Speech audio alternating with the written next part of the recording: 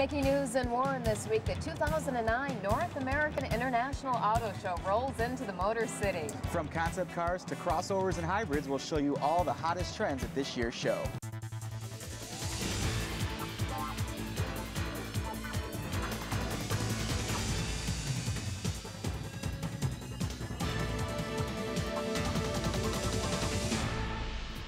Motor City comes alive with all the glitz and glam of the 2009 North American International Auto Show. Hello everyone, I'm Lori Erla. And I'm Enver Shaplow. We've walked the entire auto show floor to bring you the best American-made vehicles on display. That's right, we're devoting our entire newscast to the auto show and to vehicles made in the USA.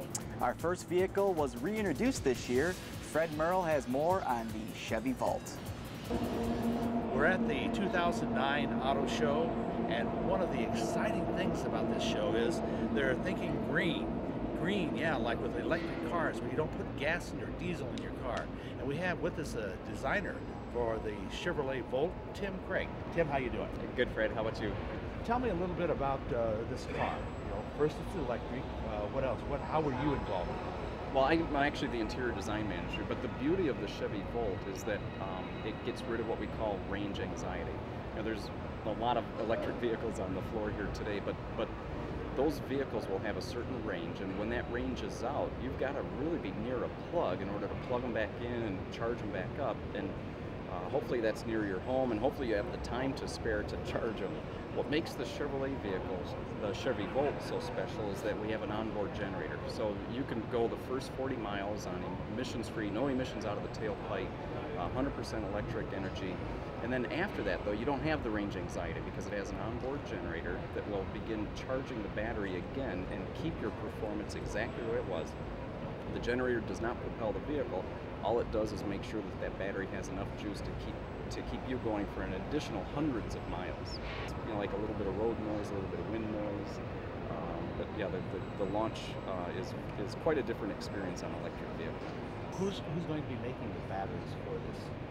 Well, we announced yesterday that LG Chem out of uh, South Korea will supply these cells for the battery, but the batteries will be assembled uh, right here in, in uh, Michigan. Okay. There's some word that it might be in the Warren. No, I think we're still working with the State Department to figure out where you know where's the right place for that. But uh, but the good news is it's it's still here in the United States and, and more particularly right here in our home state of Michigan. This car that's behind you, how much does it sell for?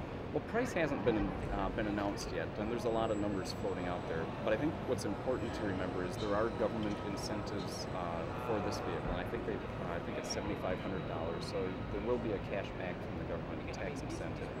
Um, and more important than that, though, is it is a Chevrolet.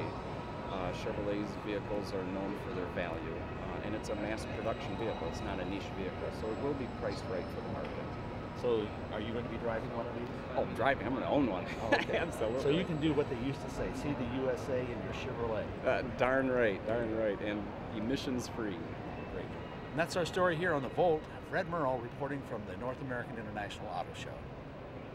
And wouldn't that be great if that assembly plant was built in Warren? That would create nearly 15,000 jobs. Absolutely. So that would be great for the city. Everyone would have a job. Mhm, it would be. Yeah. Yeah, and there's a good chance it may happen too. Absolutely. so. And not far from the Chevy Volt was another vehicle. The Volt started out as a concept vehicle many years ago, and now another one that everybody's got their eye on is the Chevy Beat. And Megan O'Brien has more on that. Megan? Hi, we're here at the auto show and we have Nick Daniels to tell us about the new Beat. Can you tell us a little bit about it? Yes, uh, the, the Beat, as you can see, uh, the, the design of the car is extravagant. Uh, it's a mini car. Uh, GM is going to enter the mini segment, so I, I think uh, we have a product here that will be uh, appealing to our customers. Excellent. Any info on the body? Uh, the body of the, the, the Spark is, is, you refer to it as the Beat. Uh, you know, GM is moving globally, and we're trying to go with one global name around the country, as this uh, vehicle will be sold in 100 countries. And, and the Spark fits best as it has the, the definite ringtone for all countries, so we really can't call it the Beat.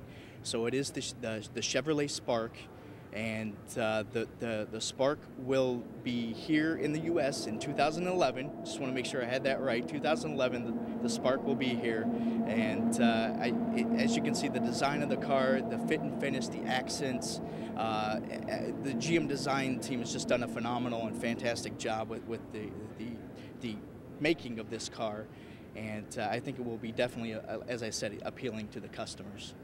Excellent. So it's very aerodynamic. Very aerodynamic. We're looking to get uh, 40 miles per gallon out of this vehicle, and hopefully more if we can. But our, our target right now is uh, 40 miles per gallon, and we hope that, you know, along with the, the body and the design of the, the car, that it will definitely be fuel efficient for families. Excellent. Thank you very much, Nick Daniels. Back to you guys at the news desk.